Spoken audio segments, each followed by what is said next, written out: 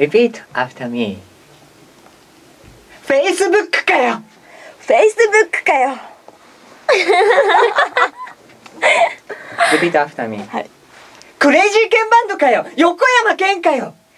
クレイジーケンバンドかよ!横山健かよ!ピンとこないなピンとこないですね頼もしい。一緒に映ってほしい。あのこの感じ。この感じをそのわけで、えっと、5月21日8回目のネバラジが終わりました。はい。一回笑いやもう。ポーって。はい、8回目のネバラジでさっき、えっと、初めて、えっと、水戸検定の時間っていううん。コーナーがあったんですけど、その前にこのね、ちょっとした寸劇をやりまして、なんかさまず三村さん風に突っ込まなきゃいけなくて、私、がうまくできないので、ディレクターさんにお手本を。Repeat after me でやってもらいました。面白すぎるそれサマーズ結構好き。好きだけど真似はちょっとね、ハードルが高かった。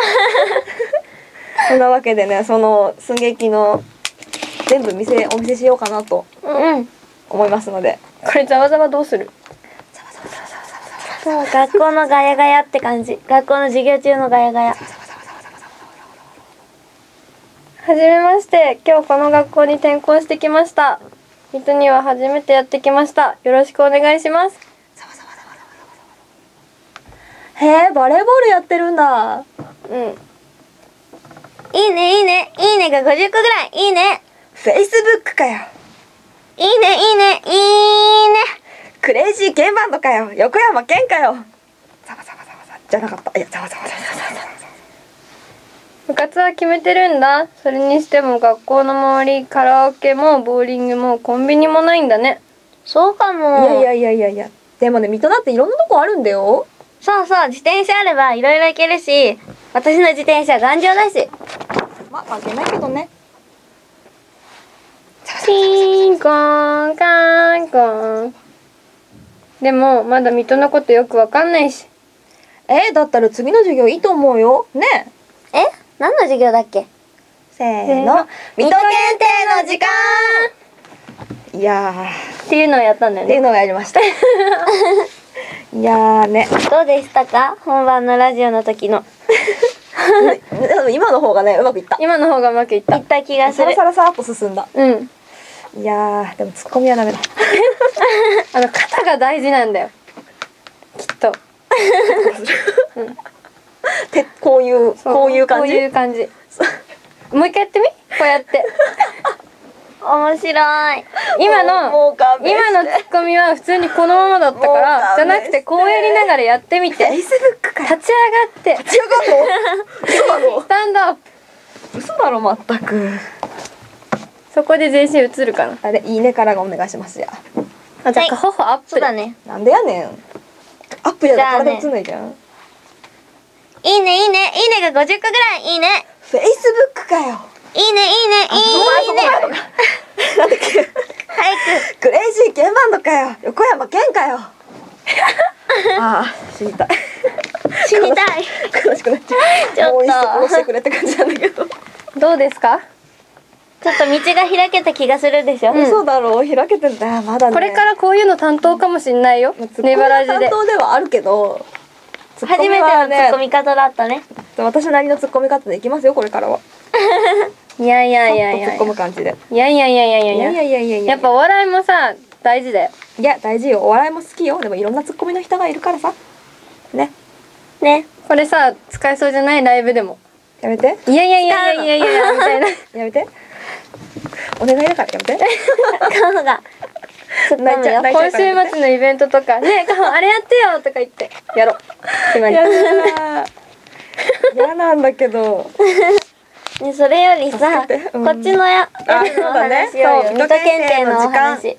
今日はね水戸検定の時間ということで初めてのゲストでね、うん。先生としてう。ん水戸の魅力発信家の平戸さんにお越しいただきました、うん。でとりあえずじお時間なかったので今日は3問正解正解じゃない。出題してもらって、うんで一番びっくりしたのがねこれなんだよ。千箱の貯水量はどのくらいでしょう？っていう問題なんですけどうん。1東京ドーム約3分の1分。2東京ドーム約半分。3東京ドーム約1個分。4東京ドーム約2個分という問題があったんですけど、皆さんはどれが正解だと思いますか？キンコンカンコン。え、それ授業終わってるよ。答えは来週ね。正解は。正解は。正解は1番の東京ドーム約3分の1個分なんですけど、びっくりしません？そう、あんだけでかいから、なんかさななんだっけ面積だったら7個分だっけ東京ドーム、そうそうそうそう。そう、あんだけ大きいから、に貯水量は東京ドームの3分の1なんですって。そうだからめっちゃ浅いんですよ。私入っても首出るぐらい。1メートルって全言って然出るよね。ね。そう、ね一番深くても1.2って言ってた。そう、だから溺れないんですよ。そう。アヒルさんボードからドンってやっても死なない、うん。大丈夫。っってことはやっても大丈夫ってことなの？てことです。ってことだね。ただぬめぬめになるけどね。やだあ、やだやだやだ、恋と一緒になっちゃうもんね。なるんですって。なるんですってじゃないや。なんですって。これマジでびっくりした。だからまだやっぱりまだまだ知らない水戸のことってめっちゃあると思うから、うんうんどんどんこのコーナーをやっていきたいなって思う、週一でやりたい。あとさ、一問目のさ現在のさ、水戸市がある場所の古代の国名は何だったでしょうかって、うん。正解は日立の国なんですけど、うん。なんか武蔵の国ってあるから、ちょっと引っ掛けかと思って、武蔵の国って言ったんですよ。えでも全部本当にあるやつだからねこれはね、うん。そう、あったそやつしたら間違えたというか、古代っ古代のて、意味が分かんなかった？そう、多分ね、でもさ、そういう意味歌ってんだよ歌っね。てる場所、自分が歌ってる場所だから、多分言い方を変えてくれたら、分かったかもしれない。昔の名前はみたいな？そう。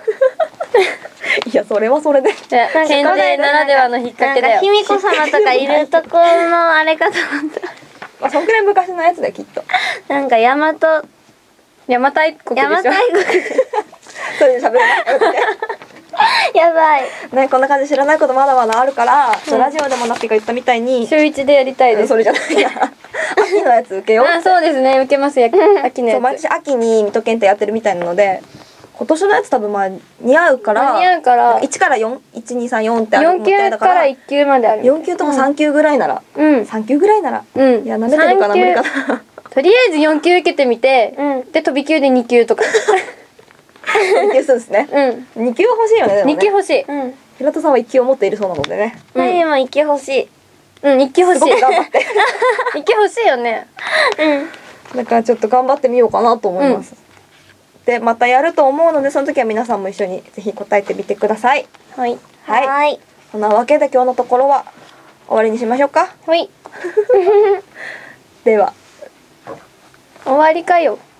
終わりかよバイバイ。バイバイ。